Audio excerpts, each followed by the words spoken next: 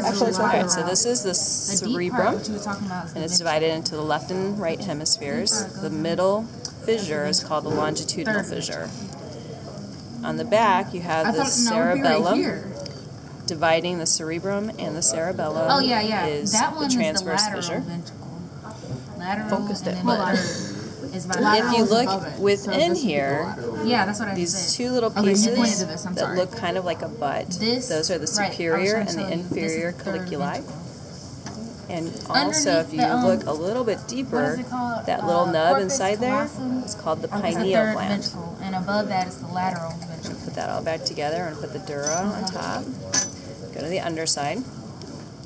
Here we have the Anyway, pituitary gland, so we were the here, olfactory nerves or olfactory remember. So you know where that is. Where's the fourth? And then if we pull this off, taking with it, we end up with the oculomotor nerves kind of going with it, but that's an oculomotor nerve there. So here. Now we can see the underside, which includes the pituitary Yeah, but I, I stalk. it doesn't label It's also called the infundibulum, But yeah, the midbrain, I mean, fourth the pons, the medulla, Yeah, and the spinal cord.